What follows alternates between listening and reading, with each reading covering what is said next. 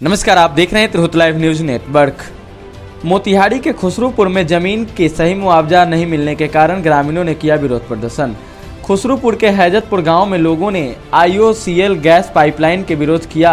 ग्रामीणों का कहना है कि आईओसीएल का जो गैस पाइपलाइन चल रहा है, जो बगैर नोटिस किए हमारे खेत से होकर गुजरता है और हम लोगों को ना ही फ़सल का पैसा दिया गया है और ना ही ज़मीन का।